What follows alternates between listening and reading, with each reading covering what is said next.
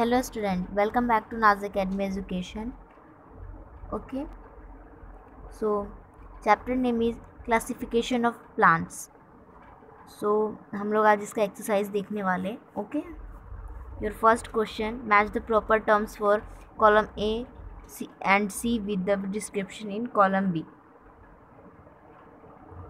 so यहाँ पर आपको कॉलम ए और कॉलम बी और कॉलम सी दिया गया है. Your questions okay? Your answer. Here.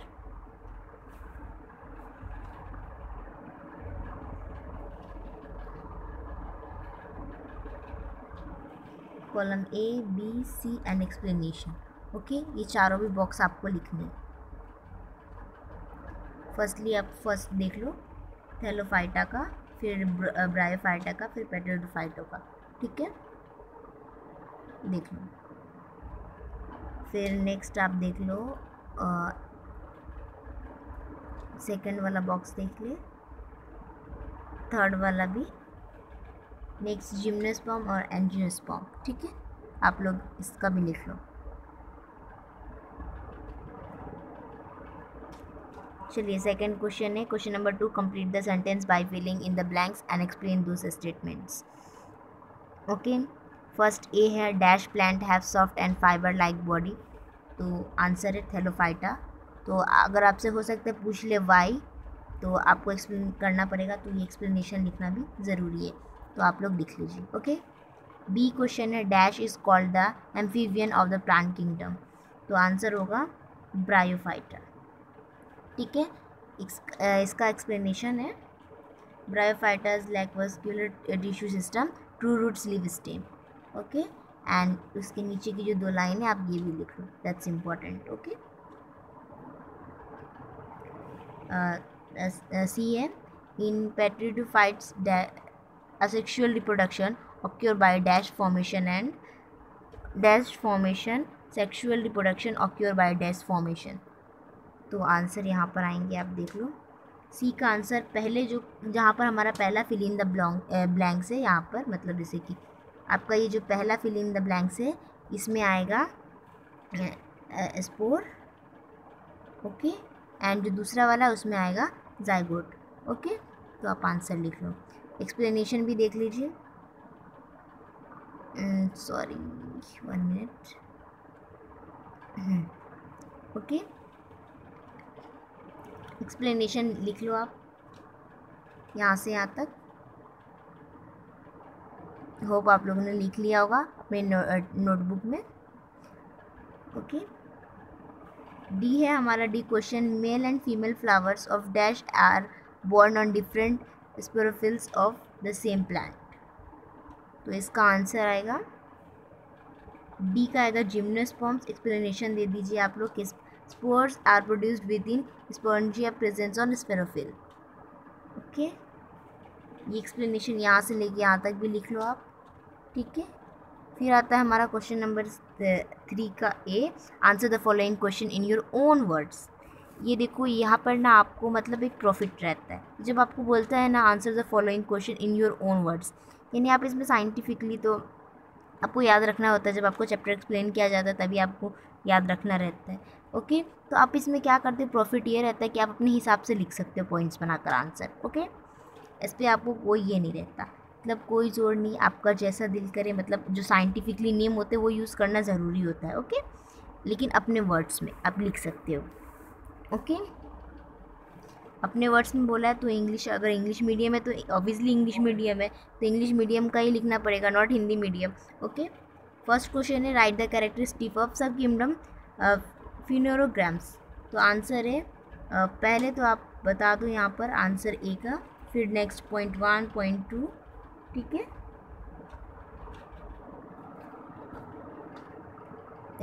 ये लिए यहाँ पर आंसर से आप लिख लो। ठीक है, यहाँ तक है। पूरे वन पॉइंट से लेकर फोर पॉइंट तक। फर्स्टली हम इसका मतलब ये आंसर्स हम लिखते हैं। फिर उसके बाद हम ये टू पॉइंट्स लिखेंगे। ओके? फिर हम बताएँगे जिम्नोस्पॉम्स एंड फिर एनजियोस्पॉम्स ठीक है? तो जिम्नोस्पॉम के चार पॉइंट है और एनजियोस्पॉम के भी चार पॉइंट है। ठीक है तो फिर आपको ये चारों भी लिखनी है। तो मैं पहले आपको एनजियोस्पॉम का दिखा देती हूँ। सॉरी जिम्नोस्पर्म का दिखा दिया मैंने। एंजियोस्पर्म का देख लो और लिख लो, ओके? क्वेश्चन नंबर थ्री का B distinguish between monocots and dicots तो आंसर इधर है। आंसर आपको बताने फर्स्टली आप ये जो टू लाइंस नज़र आ रहे हैं, वो लिख लो, उसके बाद यहाँ पर देख लो आप। ठीक है? सेम इसी तरह बॉक्सेस बना के आप लोग भी लिख लो। Okay next question question number three write question number three C write a paragraph in your own words about the ornamental plants called fern. ये आंसर्स से यहाँ से लेकर तो भी यहाँ तक। लेने गिला तक।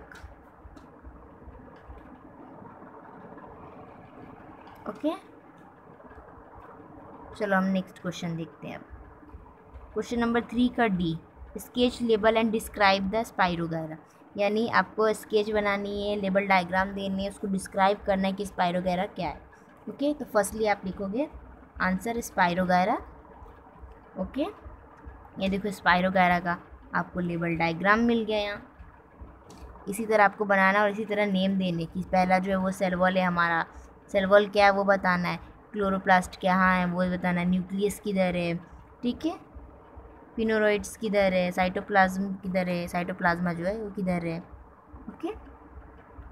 फिर आपको बताना है कि यहाँ पे बोला है ना आपको तीन चीज़ें स्केच लेबर एंड डिस्क्राइब तो हमने स्केच बता दिया। लेबल बता दिया, ओके? अब हम दिखाएँगे स्पायरोगायरा मीन्स हमने लेबल ये बताया स्केच ये हमारा हो गया मीन्स ये हो गया स्केच ये हो गया label means name and describe करना था तो डिस्क्राइब ये हो गया। A green coloured algae commonly found in stagnant fresh water bodies in don as spirogyra mainly spirogyra is slimy and has filament to touch in which the filaments are present in the cylindrical cells placed one above the Also, there is single large vascule in cell, in each cell. Okay okay? तो ये आपके answers थे spirogyra के, आप लोग लिख लो okay okay? फिर नेक्स्ट है क्वेश्चन नंबर थ्री का E write the characteristic of the plant belonging to division bryophyta तो यहाँ पर आपके आंसर से four points only four points छोटे हैं, आप छोटे छोटे लिख लो और अपने फ्रेंड्स में भी शेयर कर दो वीडियो को okay please share our video your with your friends okay एकदम इजीली बताया गया आपको। Next question question number four sketch and label the figure of the following plants and explain them into brief. Okay तो सबसे पहले हमारा मार्टिनिया उसके बाद है फ्यूनेरिया फिर फॉन और स्पाइरोगैरा ओके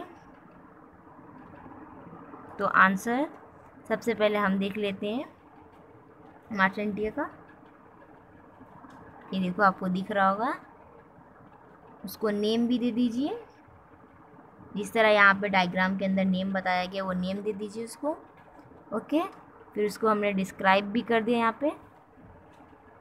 आ, आ, कितने पॉइंट्स है? हमारे फाइव पॉइंट्स है। आप भी फाइव पॉइंट्स लिख लीजिए। मर्चेंटियर ओके चलिए अब नेक्स्ट क्वेश्चन देखते हैं हम लोग। आप स्क्रीनशॉट ले लीजिए, या तो मैं डोंट वरी मैं आई विल डिस्क्रिप्शन बॉक्स में मैं पीडीएफ दे दूँगी। आप लोग वहाँ से डाउनलोड कर लेना ओके और फिर आराम से लिख लेना okay as you wish next है फ्यूनेरिया ओके फ्यूनेरिया का फर्स्टली आप लोग स्केच बना लो, फिर उसको लेबल नेम दे दो, कि स्पॉन्गियम किधर है सरेटा किधर है female branch male branch okay gametophyte एक जेनरेशन ठीक है? ये सब बता दो आप उसके नेम्स जो है जो भी जिस तरह आपको दिखाया जा रहा है स्क्रीन पे शो किया जा रहा है सेम आप लिख लो ओके उसके बाद आप इसको पॉइंट्स जो डिस्क्राइब करने रहता है वो भी कर दिया हमने। विथ चार पॉइंट के साथ ठीक है? आप ये चारों पॉइंट्स लिख लो। नेक्स्ट हमारा फर्न है। तो फर्न को इसी तरह आपको क्या करना है? फर्स्टली डायग्राम बनाना है फिर उसके ने, नेम बताने हैं ओके फिर आपको यहाँ पर भी फाइव पॉइंट्स है वो फाइव पॉइंट्स लिख लेने डन स्पायरो कायरा का जो पहले आंसर बताया, आप वो भी लिखते हो तो सेम है, क्योंकि यहाँ पर सेम ही चीज़ है। ओके फर्स्टली ने डायग्राम फिर नेम ओके फिर योर डिस्क्राइब ठीक है? नेक्स्ट सेम देख लेते हैं। Question number five collect a monocot and dicot plant available in your area observe the plants carefully and describe them in scientific language okay तो your answers here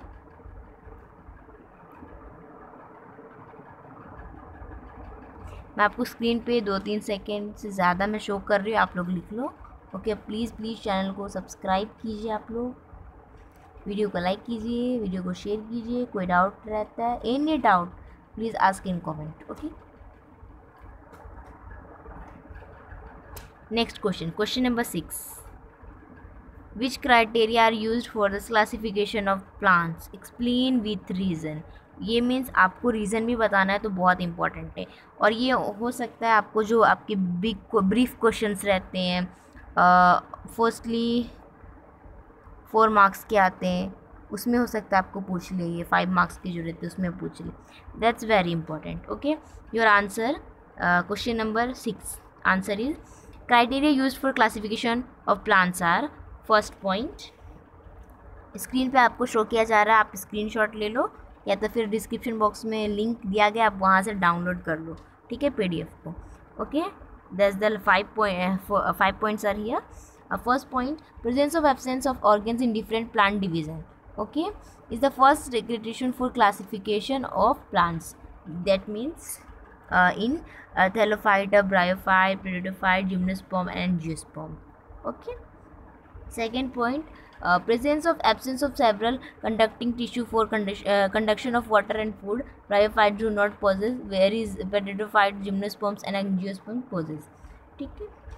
Third point uh, development of seed as predators do not have seed whereas gymnosperm and angiosperm have seeds. Fourth point seeds are developed without seed caught in gymnosperm nagged and or with e or with seed what in angiosperm covered. A fifth point the number of seed coats in monocot is one cotyledon and dicot have two. Uh, आप screenshot ले लो okay so आपके exercise uh, का means classification of जो plant है chapter number six chapter number six classification of plant का exercise यहाँ पे आपको पूरा बता दिया गया इस वीडियो में। आप लोग आराम से लिख लीजिए, कुछ डाउट रहता है तो कमेंट में पूछ लीजिए और हमारा काम कर दीजिए चैनल को सब्सक्राइब कर दीजिए वीडियो को लाइक कर दीजिए ओके वीडियो कैसा लगा कमेंट सेक्शन में बता दीजिएगा ओके और गलत बातें कमेंट में नहीं लिखनी है सो प्लीज़ ओके ये आप लोग के डिमांड के लिए मैं वीडियो बनाती हूँ, ताकि आपको पूरा आंसर मिले okay so bye, take care, any doubt, या आपको अदर टॉपिक पे कोई भी अदर सब्जेक्ट की वीडियो चाहिए होगा तो कमेंट सेशन में बोल दीजिएगा, okay? Bye and take care, okay? और सब्सक्राइब करना नहीं भूलना है ओके? चैनल को, बाय एंड टेक केयर हाँ? और फ़ोन का गलत यूज़ नहीं करना, ओके?